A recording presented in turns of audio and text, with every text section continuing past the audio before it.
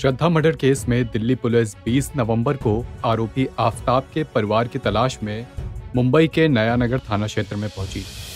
बताया गया है कि आफ्ताब पूनावाला का पूरा परिवार फ़िलहाल लापता है। वो मुंबई में ही रहते थे और इसी थाना क्षेत्र में रहते थे। आफ्ताब का परिवार मुंबई के मीरा रोड इलाके में रहता था, लेकिन जब से श्रद्धा की हत्या की खबर सामने आई है, इस पर लगातार दिल्ली पुलिस एक्टिव है, तब से आफ्ताब का पूरा परिवार लापता है। परिवार की अनुपस्थिति में दिल्ली पुलिस को क्या कुछ हासिल हुआ, इसकी जानकारी अभी नहीं मिल पाई है।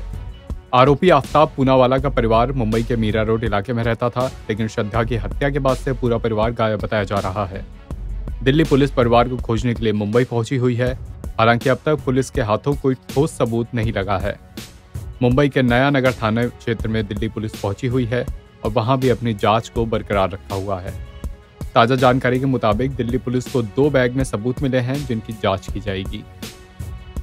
वहीं कुछ दिन पहले श्रद्धा वालकर के पिता विकास वालकर ने दावा किया था कि वो पहले महाराष्ट्र के वसई में आफ्ताब पूनावाला के आवास पर गए थे, लेकिन उनका अपमान किया गया था और आफ्ताब के परिवार के सदस्यों ने उन्हें दोबारा न आने की चेतावनी भी दी थी। इसके बाद से वो लगातार परिवार से दूर थे और विकास वालकर ने इसके बाद कथित तौर पर अपनी बेटी को भी ये समझाने की कोशिश की थी कि वो आफ्ताब से दूर रहें।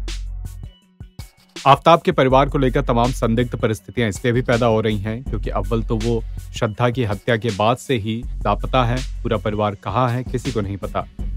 वहीं दूसरी तरफ़ श्रद्धा की कुछ कथित व्हाट्सएप चैट्स भी सामने आई हैं। इन व्हाट्सएप चैट्स की माने तो श्रद्धा ने अपने कुछ दोस्तों से इस बात का ज़िक्र करा था कि आफ्ताब श्रद्धा के साथ मारपीट करता था।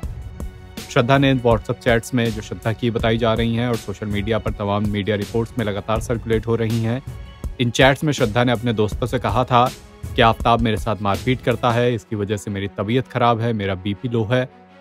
मैंने इसका ज़िक्र आफ्ताब के परिवार वालों से भी किया है और उनके दखल के बाद अब आफ्ताब ने कहा है कि सब ठीक हो जाएगा। आफ्ताब के परिवार ने भी भरोसा दिलाया है कि सब ठीक होगा।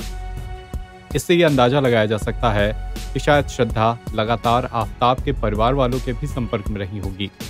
हालाँकि इन सब बातों की अभी पुष्टि होना बाकी है। तमाम मीडिया रिपोर्ट से, तमाम अन्य सूत्रों से जानकारियाँ छिन छिन कर सामने आ रही हैं। लेकिन आफ्ताब के परिवार का यूँ लापता होना, उनका किसी भी मामले में कोई बयानबाजी न करना, पुलिस के सामने न आना, इस पूरे प्रकरण को और भी संदिग्ध बना रहा है।